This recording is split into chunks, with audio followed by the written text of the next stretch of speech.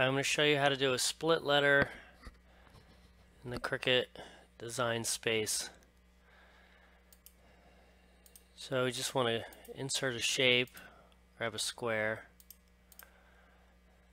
unlock it so we can make this a rectangle, figure out the space that you want to move to eliminate from the W here.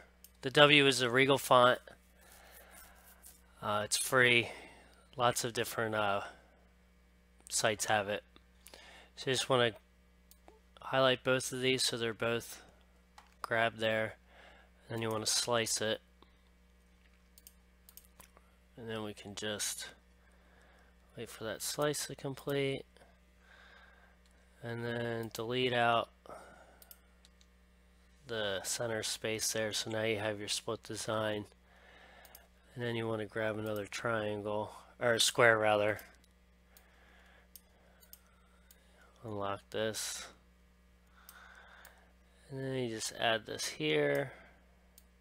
I'll shorten it up a little bit.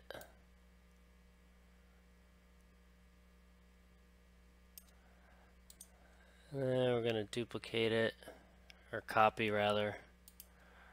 Copy, paste, grab it. Now make sure when you put these on that overlaps a little bit. Just line them up as best you can.